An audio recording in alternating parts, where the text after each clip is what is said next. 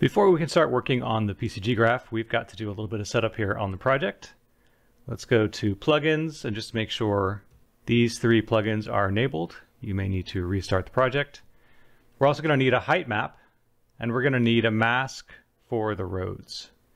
So to get to the height map, there is a really wonderful website called manticorp.github.io Unreal Height Map. And what it allows you to do is go to anywhere on the planet and download a height map from that little patch, right? So something that's, I think, yeah, helpful for giving a variety of, of uh, different terrain scenarios is try to find some little spot where you've got some mountains and a little flat spot. Once you've got a, an area that you're happy with, you want to make sure you've got the output width and height set to one of the default UE5 sizes. I like 2017 by 2017. If you're running a slightly less powerful video card, you might want to use one of these lower resolutions. It will change some of the values for the PCG graph. But anyway, once you've got your size here, you just click Generate Height Map. You can see down here, this is the Grand Canyon, an experiment I was doing. And when you push this button, it's going to automatically download the height map directly to your downloads folder. I'll show you how to set that up in a second.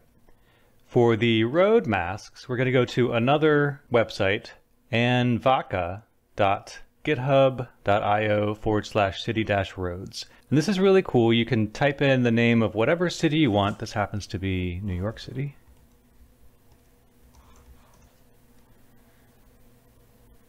I don't know how broadly this road data is available, but certainly any of the big cities in the US or Europe I, I looked at work just fine. So this is going to be all the roads in that city. And we want to change a couple things here. We want to go to the customize section. I'm going to make the roads white. And the background, we want to make it gray, but not black. And there's a good reason for that that I will explain a little bit later on. We don't need any labels. From here, you want to download it as a vector.svg. So if you just push this button, it'll go ahead and download it there. Let's jump over to Photoshop. We'll go File, Open, and what you will see is this rasterized SVG format window, set the resolution to 300 pixels per inch so that we get a nice big image and hit OK. This will take a minute to load in probably. So what you can see here is we've got the image open and it is 16.7%, which means if I zoom in a lot, this is 100%. So this is nice. We get a nice clean resolution on our image. And just like with the height map, what we want is a section of the city that is 2017 by 2017. And we'll get there in a second. For now, I'm going to just select a square's worth of city. We'll resize it a little bit later. And then I'm just going to put some rulers around where that square is so I know what I'm working with. If you don't see rulers, you can go to View and then uh, Rulers. And then you just kind of drag them down from the top. Looks like I got a little snippet down there at the end. So what I'm trying to do now is I want to get rid of anything that isn't nice clean road stuff. It's just not going to translate well. So this little section here with all this squiggly stuff, I'm going to try to find a nice road border. Don't need to keep our selection anymore. And I'm just going to kind of highlight around. And if you don't feel like doing this, I will make my existing road mask available.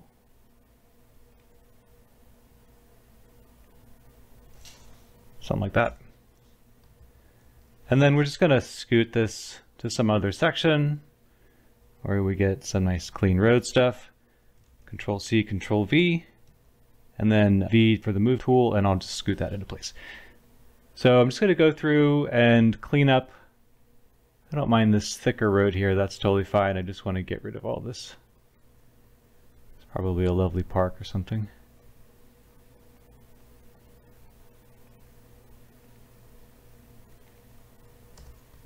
So again, just go to the uh, select tool, go find some nice clean streets.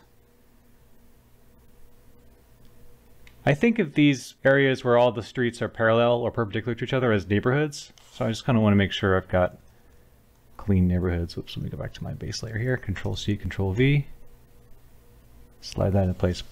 Uh, okay, that's probably good enough for now. We can always circle back if we want. I'll go back to my square, and we'll just go ahead and select this. I'm going to hit Control Shift Control C or you can just merge this down. Shift Control C will, will select all the layers and copy them. I'll make a new file, paste that in, and we'll just go to the image size here and make sure that it is set to 2017 by 2017. 300 dpi is fine. Okay, so this is this is great. This will work. This will work fine as, as a road mask. Again, I'll make this available for anybody if you don't feel like going through this process. I just want to show you how to do it. Okay, back here in Unreal, I'm going to make a new folder. And we'll make a new level. Make it a basic level. We can delete the default mesh in there. Let's go to landscape here in the selection menu.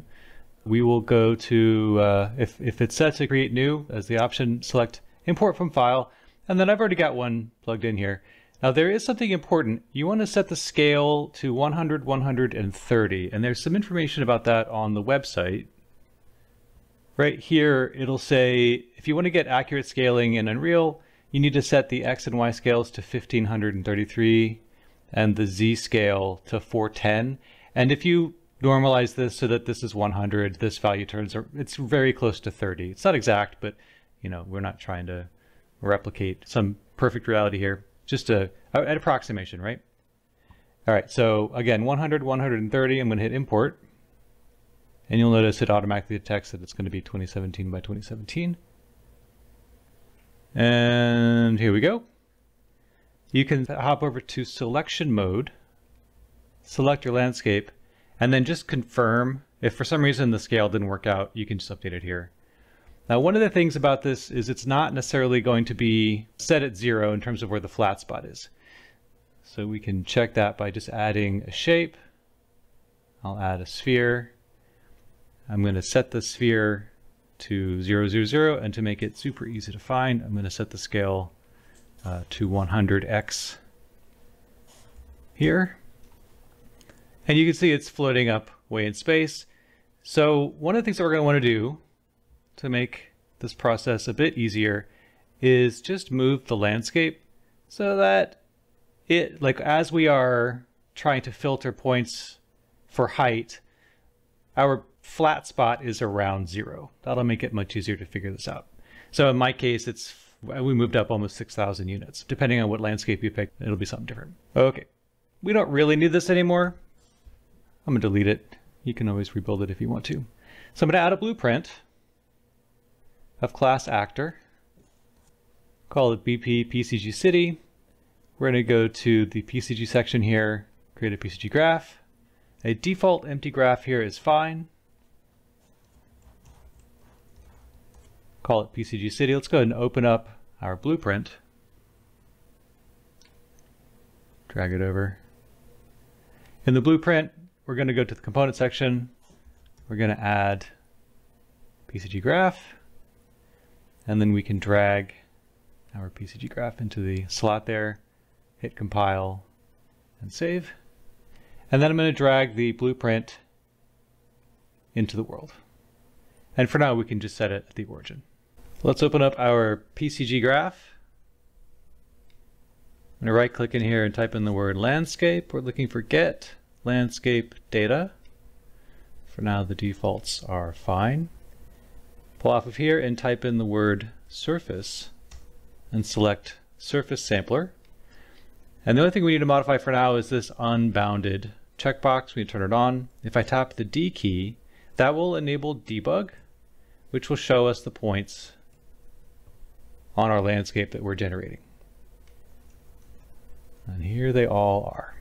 Now, some things that are important are the points per square meter. If I increase this to say one,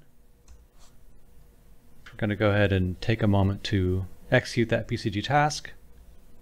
You can see we now have a whole lot more points and they're right up against each other.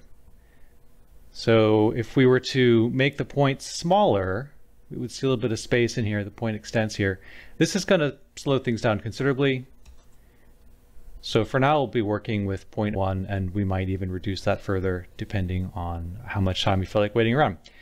One of the things that's kind of convenient here is if you tap the A key on our surface sampler, that's going to give us information on our attribute set data. I have a tutorial covering this topic. I'll be pointing to other tutorials as I go through this so I don't have to spend a, a huge amount of time uh, repeating myself. But this is the attribute set data. Each point contains this data so we can see things like its position, its rotation. Currently it's uh, aligning itself with the surface normal there, wherever it happens to live. And then let's see, we've also got density over here. This is a value between zero and one. And you can see that grayscale color here represents each point's individual density value. Okay, I think that's a good stopping point for this video. We will pick this up again in the next video.